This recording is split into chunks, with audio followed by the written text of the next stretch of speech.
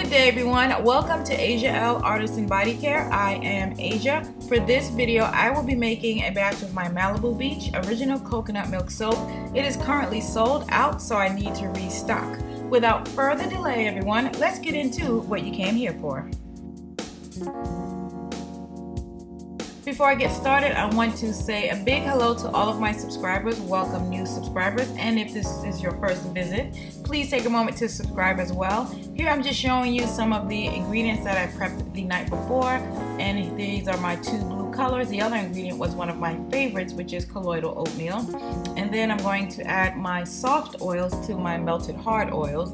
Malibu Beach is definitely one of my top selling soaps. I also make the scent in my Spectacular Body Butter and I also make it in a dry oil spray. And of course, it is inspired by the actual Malibu Beach. Whenever possible, um, I love to go there with a big beach towel and an umbrella and of course some SPF and just read a book or take a nap and just enjoy like the beautiful ocean sounds and the smell of the sea. It's just really, really peaceful.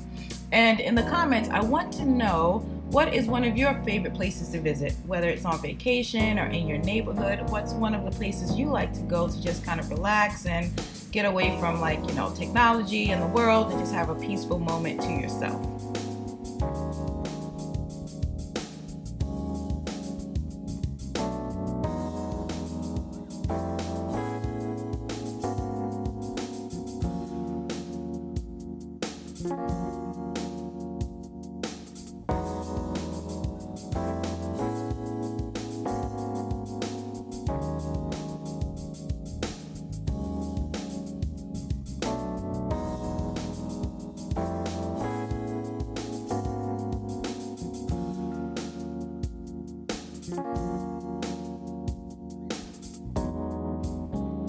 Here I'm just adding my lye water solution to my melted oils. Each time I make the Malibu Beach soap, I use the exact same recipe that I use for all of my coconut milk soaps. The only thing I change is the actual design. The blues are always the same. I just kind of play around with what with the color, making it lighter or darker with a little bit of uh, TD. And for this design, I wanted it to look as if there was water washing onto the sandy beach. So for the lighter portion of the soap, I will add some colloidal oatmeal to kind of give it like a sandy look. And then I'm going to have um, some of the soap separated into two parts so I can make two different blue colors to mimic some kind of like an ocean effect coming onto the sandy beach. So enjoy the video and let's see how it turns out. Let's see if my idea comes to fruition or how well it comes to fruition. I'll be back in a moment with more notes on this soap.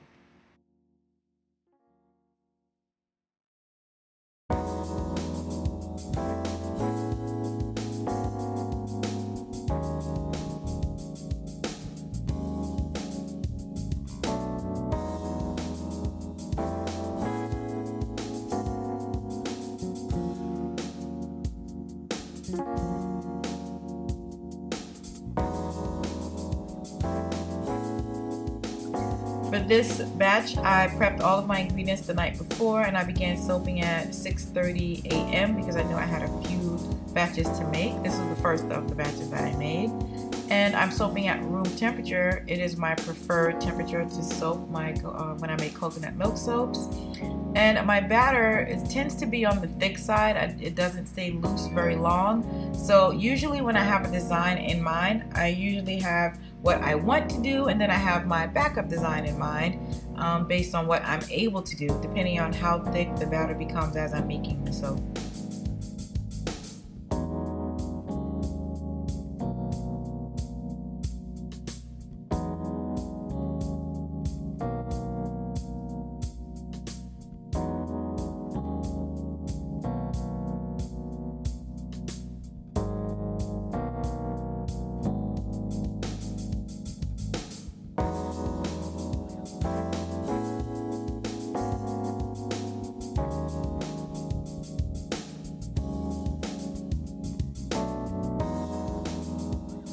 Once I poured off my two portions to make the two blue colors, I added just a bit of TD to the base of the soap and some organic colloidal oatmeal because this is the part of the soap that I want to mimic the look of sand. So I blended it with the spatula, my handy dandy spatula, and then a little bit uh, also with the stick blender, but not so much that it would disappear into the batter. I also noticed while editing that for this portion of the video, uh, my bowl is almost halfway out of frame, so I have to be really mindful of that in future videos to make sure you guys can see everything I'm doing.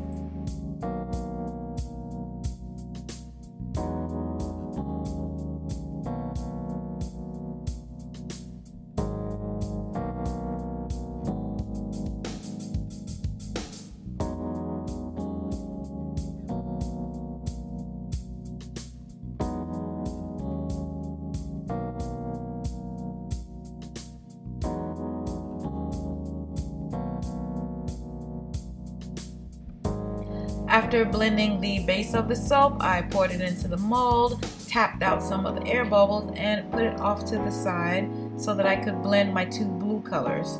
And as you'll see in a moment, my batter became pretty thick, and so I decided I would just hand mix my color in and proceed with doing my drop swirl design.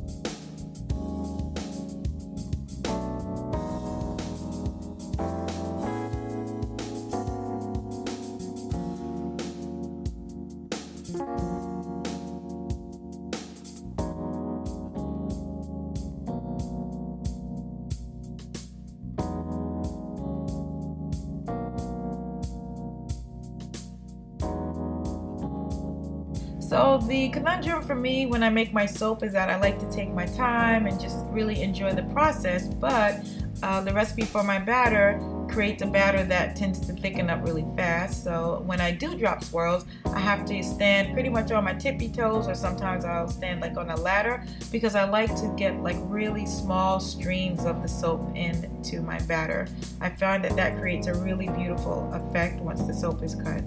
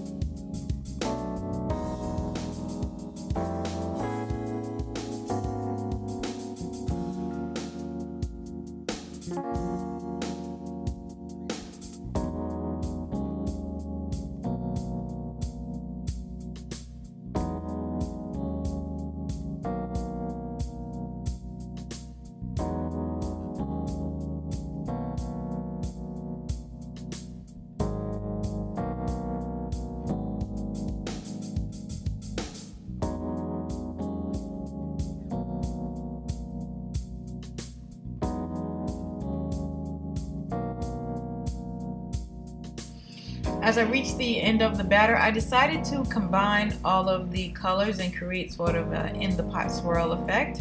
I didn't want to risk there being clumps of color on the top of the soap, so I figured if I mix all the colors, uh, as you see here, it would further convey the look of water.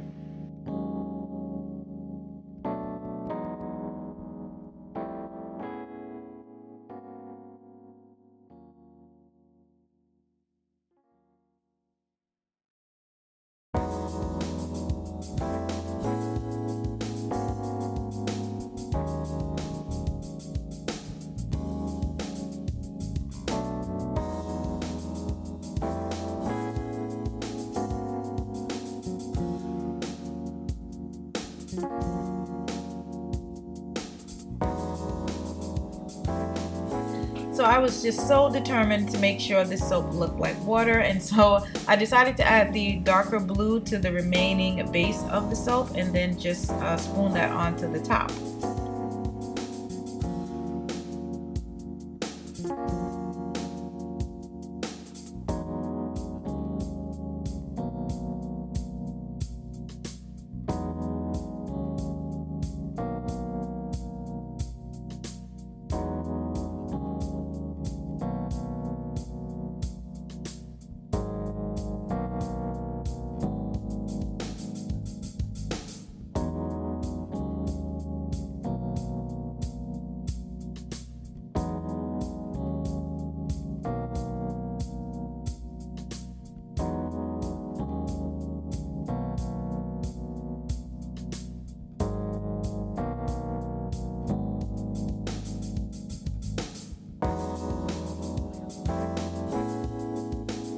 For the top of the soap, I ventured away from my usual swirly twirly and I found this tool on Amazon. It's actually meant to help you cut fruits and vegetables, sort of like onions and tomatoes and apples, just to make it um, an easier task.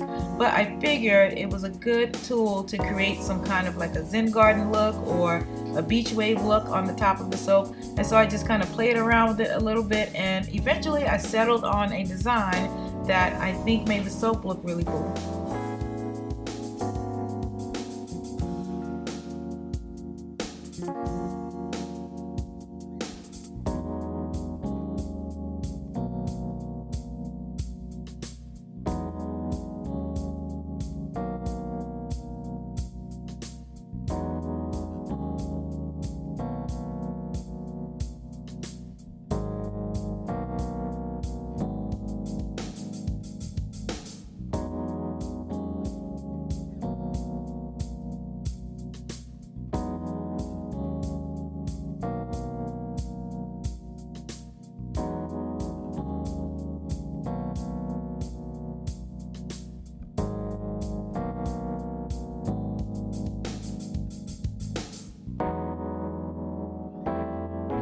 Only I had a lovely singing voice, I would burst out singing End of the Road by Boyz II Men. But I don't, so I won't. so I refrigerated this soap for about 17 hours. I love the top of the soap. It really does remind me of like wavy, ripply water at the beach and you can see the colloidal oatmeal gives the base of the soap that sandy look. The two blues intermingle really, really well. So uh, I think this is a really beautiful rendition of Malibu Beach coconut oil soap.